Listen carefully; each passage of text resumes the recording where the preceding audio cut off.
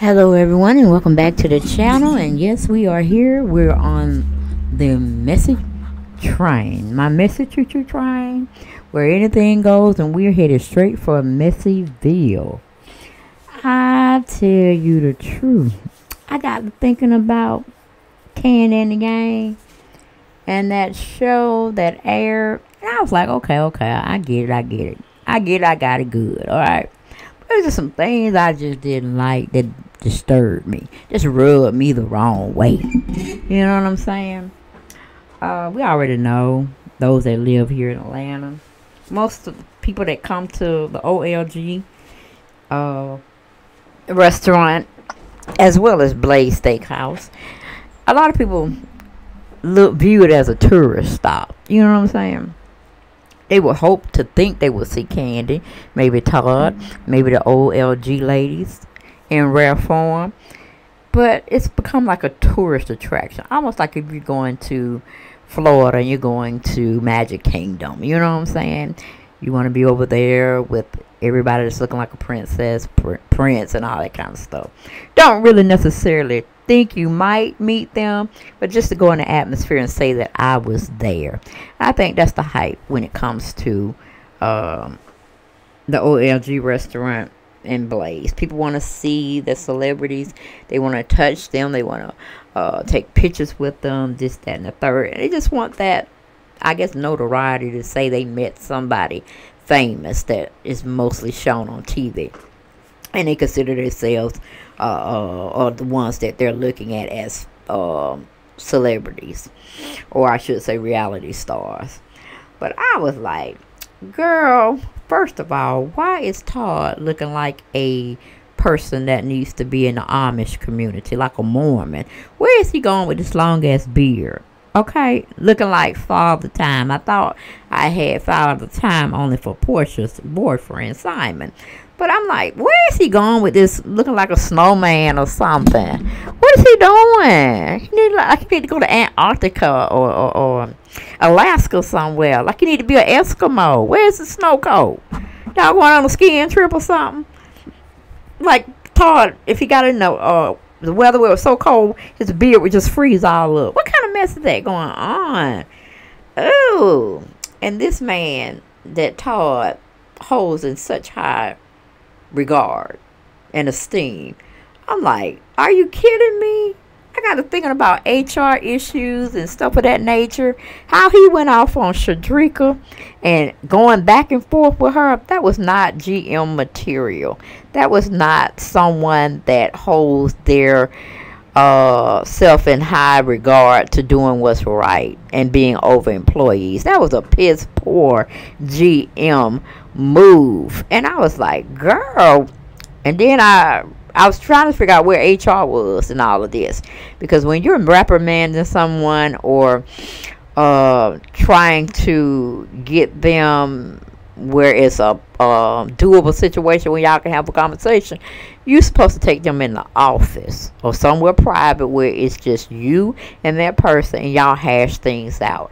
And if it doesn't seem like y'all can stay on one accord, then you can implement some things. But that was just piss poor, and even HR would have wrote up the GM for going off and acting in such a manner he should not have acted in.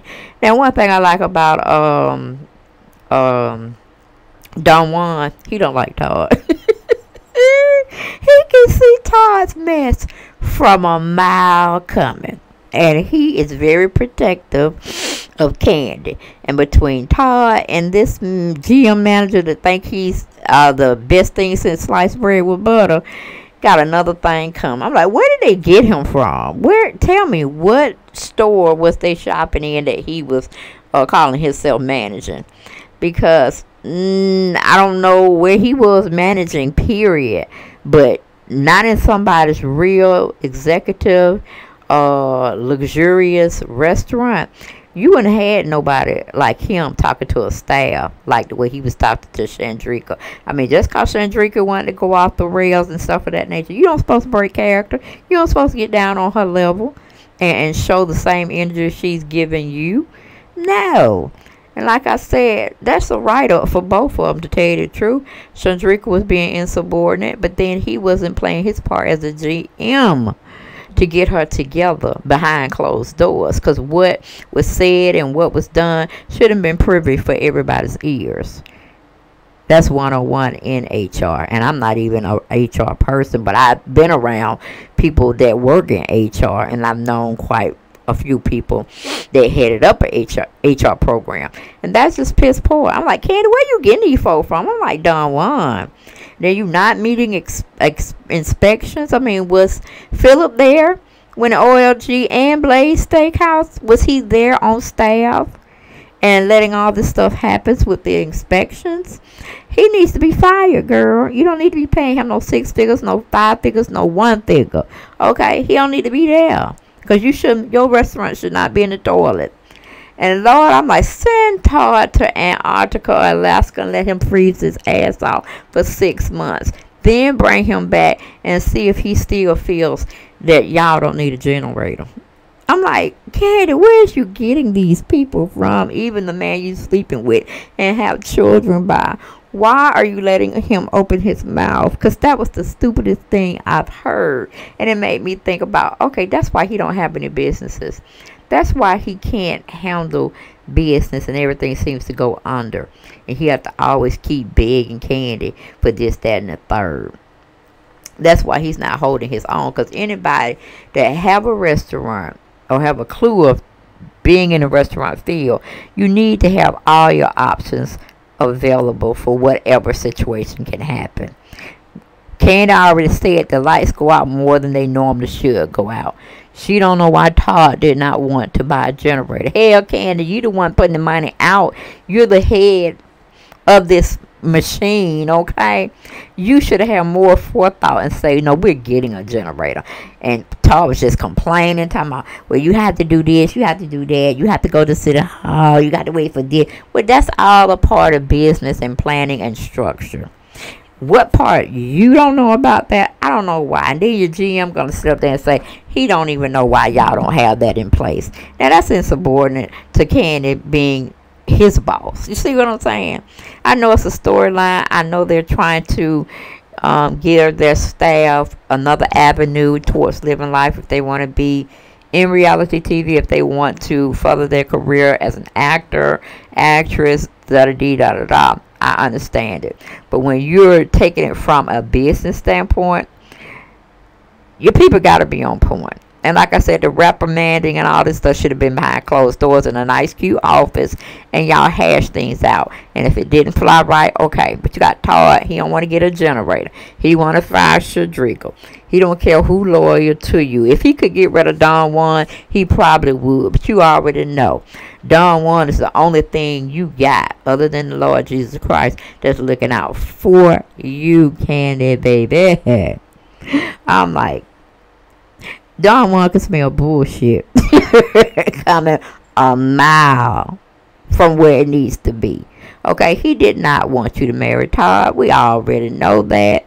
And he's not fond of Todd to this day. And I know you were choosing your words very carefully when you were trying to interview Don Juan on your um, your YouTube channel and you were trying to celebrate him being a producer of the show, executive producer. I see he got a little credit rights and stuff and you're trying to pull him along uh, as best you can because you really do value him as a person. Now, I think Todd did have something correct when he said loyalty to a fault is going to be a problem.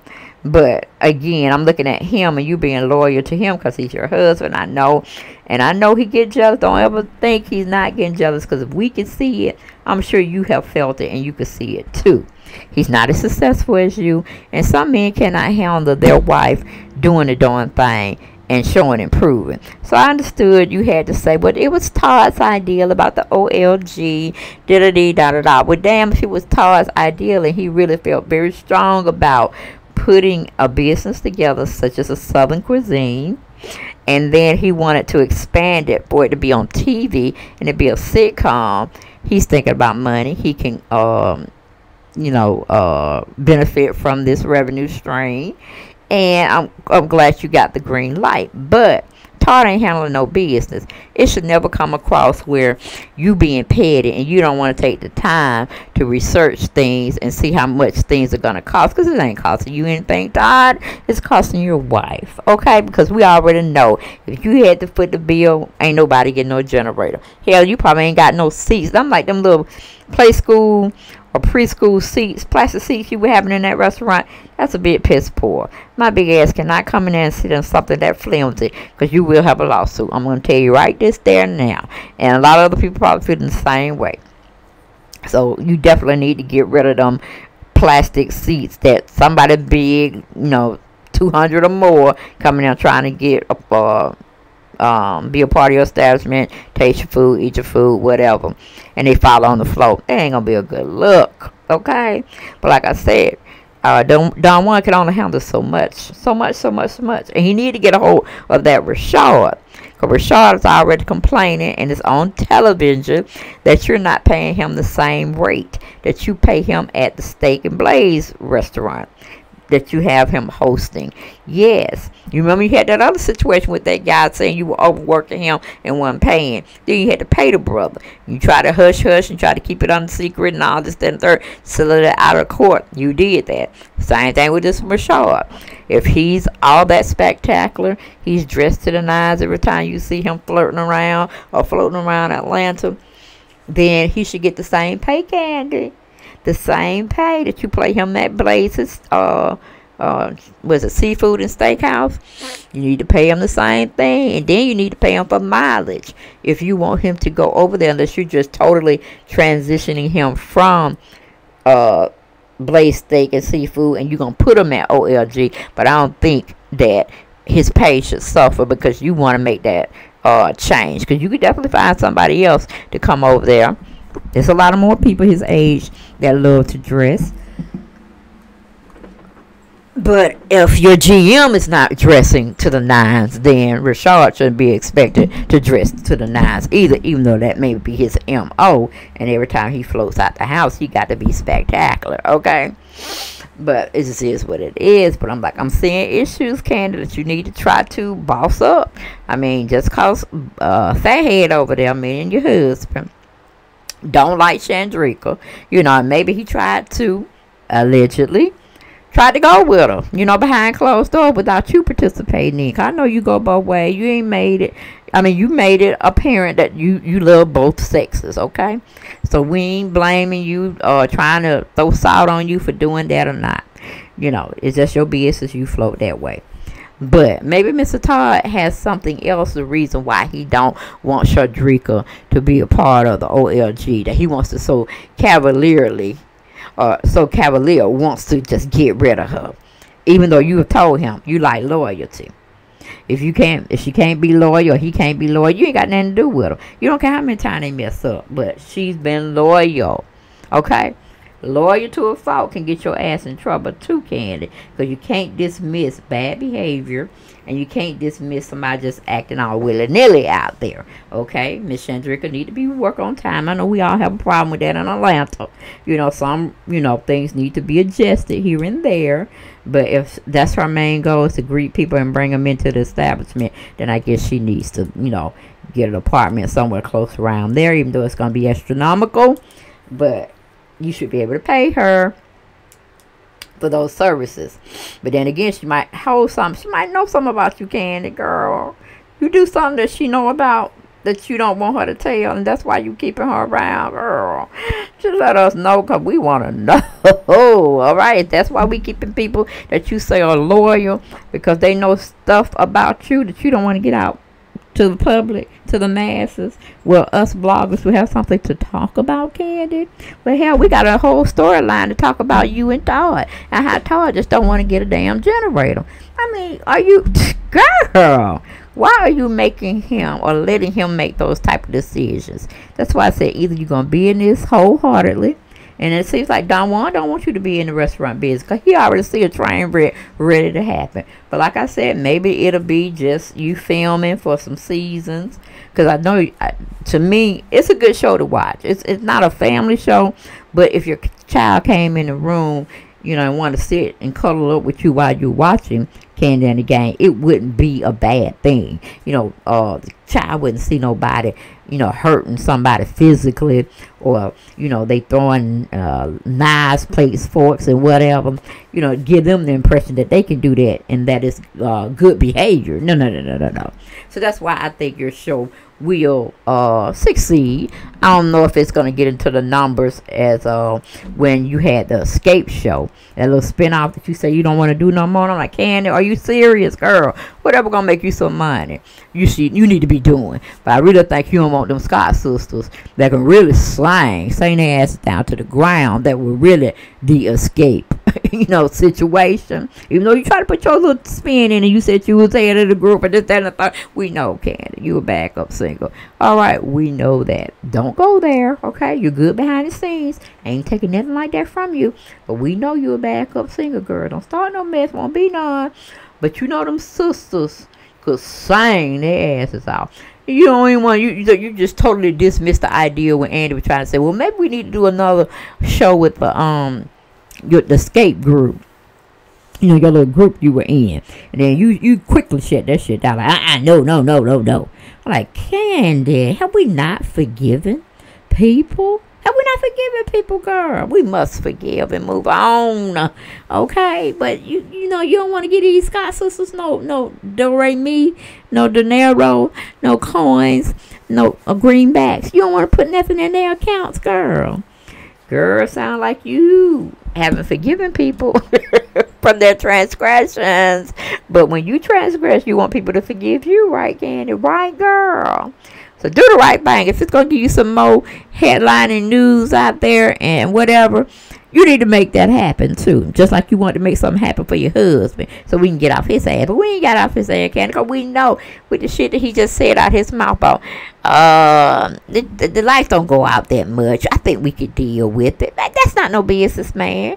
That is not no business, man. That's a man like he just want to run through your money. And I know he be giving you a hard time behind them closed door. Talking about, you, you don't nobody like me. They think I'm using all your money, but I'm trying to do this. I'm trying. You ain't trying to do nothing, talk. You didn't do, do too much when Kandi wouldn't even mess with you. You know, you was uh, the backstage man in productions or somewhere on the Real Housewives of Atlanta. You couldn't even come up and confront Kandi on your own. You had to have Phaedra come in and set stuff up.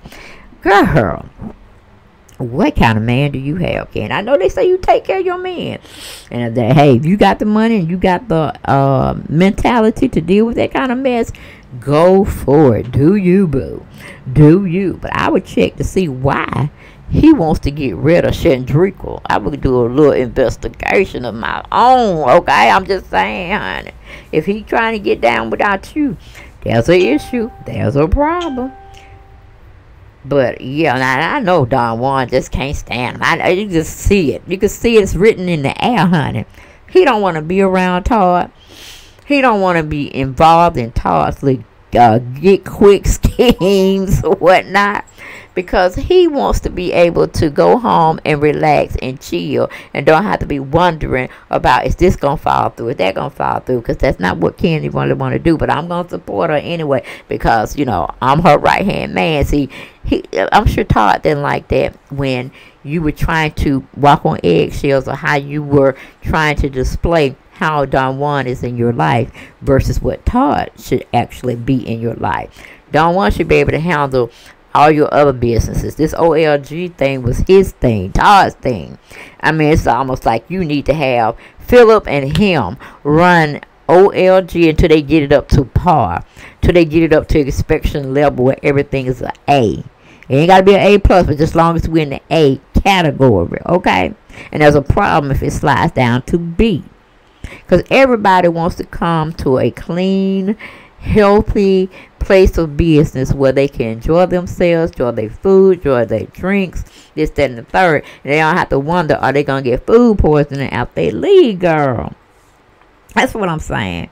So if this was Todd's whole idea, the structure of uh, putting OLG together, getting the recipes from your mother and your aunts, making good uh, Southern cuisine, okay? And it was his idea to try to get the OLG restaurant out there for a sitcom show, let him do the work. Come, whether it's successful or it failed, let that be on his own merit. Stop holding this man like he's a child, because that's what it seems like. All the man running around there is Don Juan. And to tell you the truth, as uh, uh, we got quiet as a skill, allows I'm gonna speak it out. I think you and Don Juan would have been perfect together. Y'all would have been a, a magnificent team. Y'all would have been a force to be reckoned with. Okay forget Todd. Okay, we don't left Todd at Todd, little, little tiny Tim Todd. We don't left him to the side for now. But Don Juan has always been by your side. If only he was not gay. Okay, if only he was not gay, girl. That would be your true husband, Don Juan. Because he has your best interest at heart. He's always looking out for you. He's always telling you what makes sense what don't make sense, what you can lose by doing this, what you can gain by doing that. I think that's what Todd hates. Because Todd just like to live the, the luxurious life. He don't care how it's done or how it gets together. He just want to live it. And on birthday, I told you from Jump Street, he's coming with the bullshit. The bullshit. and she's always said, honey, baby, this is too much. But if you like it, I love it. I ain't got to lay with the man. Okay. But yeah, you know what you have been taught. He's giving you two beautiful children. But honey, Todd seemed to be a little thirsty to me. He seems to be a little thirst bucket. Honey, him and Porsha would have been uh, two peas in a pod, honey. That's who he should have been with. Okay? But that's all I have for this particular video, guys. I had to come back and do a recap on what I really felt about Mr. Todd. He has no business sense to me, at least when it comes to the restaurant business and how things are structured and how things need to be maintained. You know, that's what um going on. All right, everything is just not party, party, party. If you let people fill up on drinks and stuff and serve them any kind of food, whether if you picked it off the floor or not, doesn't matter. it to him. He just he's piss poor, piss poor. Like, girl, where's his truck at? You remember you bought him? Uh, um, 18 wheeler. What what's going on with that Kandi? Can you tell us?